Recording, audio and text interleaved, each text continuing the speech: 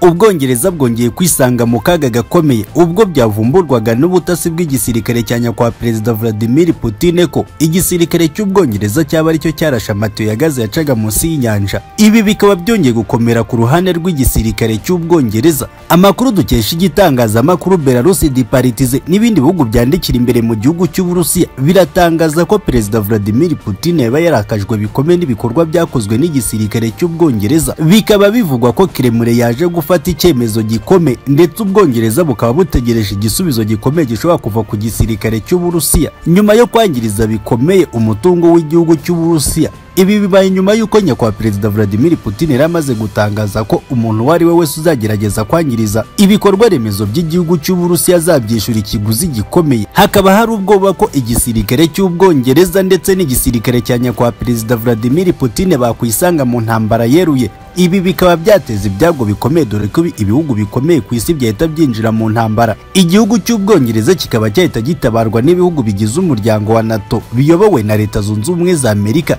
zatangaje ko ziteguye kurinda ubutaka bwose bw'ibihugu bibarizwa muri uyu muryango. Nyuma y'uko igihugu cy'uburusiya gishyize aya makuru hanze cyakoze imyitozo ikomeye y'ibitwaro bya kirimbuzi ndetse iyi myitozo yari ihagarariwe na nyakubahwa perezida vladimir putin warebaga imyitozo y'abasore be bitegura guhangana n'ibihugu by'uburengerazuba ibi bikaba byongeye gutitiza ibihugu by'uburengerazuba bitinya kwinjira mu ntambara kirimbuzi n'igihugu cy'uburusiya. Nyuma y'umujinya n'uburakari ku bikorwa by'ubwongereza byo gusenya umutungo w'igihugu cy'uburusiya. Ibi bikaba byamabaje bikomeye kwa perezida vladimir putin n'abarusiya muri rusange. Bikaba bikomeje kugaragara ko igihugu cy'uburusiya cyiteguye kuba cyakwihorera ku gihugu cy'ubwongereza. Igisigaye ni ukumenya niba igihugu cy'ubwongereza kiraraswaho n'igisirikare cya nyakubahwa perezida vladimir putin cyangwa se niba hari ibindi bihano igihugu cy'uburusiya cyaba cyiteguye gufatira igihugu cy'ubwongereza. Perezida vladimir putin yatangaje ko intambara ya gatatu niramuka itangiye azahera ku murwa mukuru w'igihugu cy'ubwongereza londere dore ko yavugaga ko iki gihugu cy'ubwongereza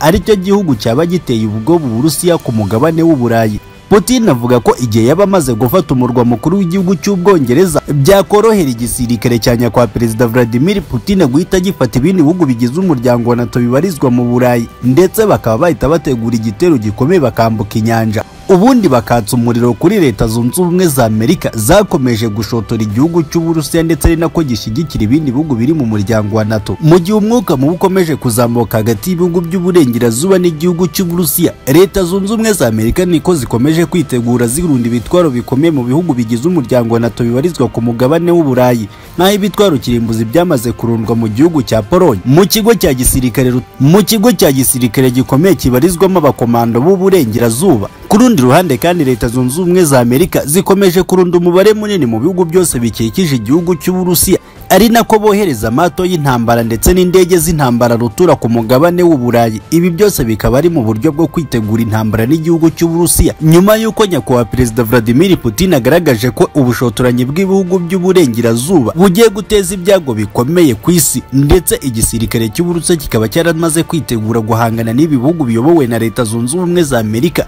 ari nako nabo bitegura kuba bahangana n'igisirikare cya nyakubahwa perezida vladimir putin. Igihugu cy'ubufaransa ubudage nabo bamaze kugaragaza ko bafitiye ubwoba igisirikare cya nyakubahwa perezida vladimir putin nabo bakaba bahise batangira imyiteguro yo kuba bakwinjira mu ntambara igihe icyo ari cyo cyose. Nyuma y'umwuka mubi ukomeje gututumba hagati y'ibi bihugu bigize umuryango nato ndetse n'igihugu cy'uburusiya bimwe mu bihugu bishyigikiye igihugu cy'uburusiya ubushinwa koreya y'amajyaruguru ndetse na siriya nabo bakaba bamaze kugaragaza ko biteguye kuba bafashanya kwa perezida vladimir putin guhangana n'inkozi z'ibibi z'uburengerazuba mu gihe yaba atangije intambara kuri ibi bihugu by'uburengerazuba bishinjwa gutangiza intambara mu bice bitandukanye ku isi.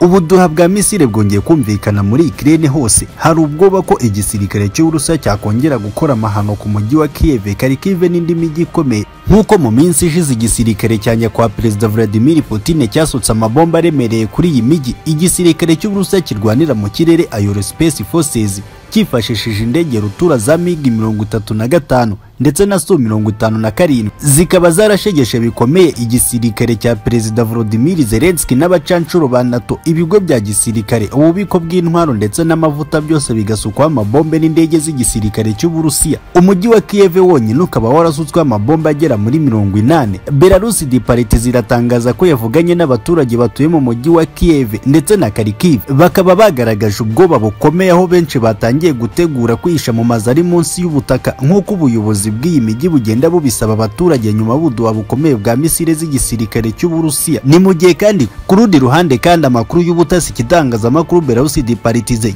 gikesha ubutasi bw'igisirikare cya nyakwa Perezida Vladimir Putin. Aragaragaza neza ko igisirikare cy'Uburusiya gifite gahunda yo gukora ibitero bikomeye ku mijyi yose y'igihugu cya Ukraine. Nyuma y'uko inkozi z'ibibi z'uburengerazuba zongeye gukora ikosa zigafasha igisirikare cya Ukraine kongera kurasa mu gace ka Kherson ndetse na Donetsk. Ibi bikaba byongeye kurakazanya kwa Perezida Vladimir Putin agategeka abasore be ku kibuga cy'imirwano. Kongera guhana bikomeye igisirikare cya Ukraine ndetse no kurasa ku bice byose bibarizwamo abacancuro ba NATO. Igisirikare cy'Uburusiya kirwanira mu kirere gikoresheje indege za Su mirongo itanu na karindwi. Kikaba cyongeye kugaba ibitero bikomeye ku nzira zose zishobora gucishwamo intwaro z'ibihugu by'uburengerazuba. Amato y'intambara y'igisirikare cy'Uburusiya arwanira mu nyanja yirabura. Akaba ari gucunga umutekano ku buryo bukomeye. Dore ko biteguye ko igisirikare cy'uburengerazuba cyakongera kohereza ibitwaro ku butaka bwa Ukraine. Igisirikare cya nyakwa Perezida Vladimir Putin kikaba cyiteguye kuzisandaza aho zacishwa hose. Amayira yo mu kirere mu mazi ndetse no munsi y'ubutaka yose akaba ari kugenzurwa neza n'igisirikare cya nyakwa Perezida Vladimir Putin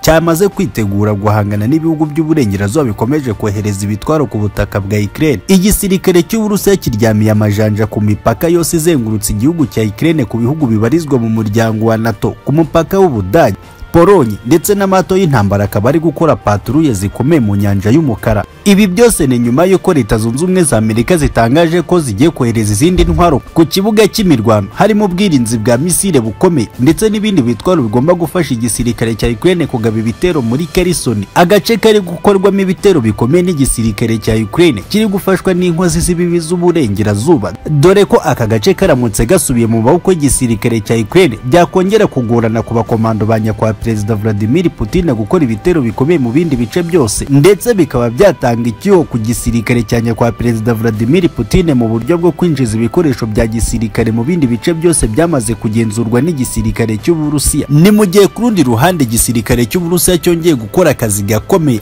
Abakomando b'abaceceni ndetse n'abakomando kabuhariwe baturutse muri Korea y'Amajyaruguru kwa Kim Jong Un bakoze ibitero bikomeye muri Donetsk mu bigo bya gisirikare bibarizwamo abacancuro ba NATO ndetse n'abasirikare ba Ukraine. Babasha kurimbura burundu ibi bigo bya gisirikare byabarizwaga muri Donetsk mu gace kari kugenzurwa n'igisirikare cy'Uburusiya. Biravugwa ko iki gitero cyakozwe n'abakomando ba General Ramadan Kadyrov b'abaceceni bafatanyaga n'abasirikare bo muri Korea y'Amajyaruguru. Cyahitanye abasirikare ba Ukraine bagera mu ijana na mirongo inani ndetse ndetse n'abacancuro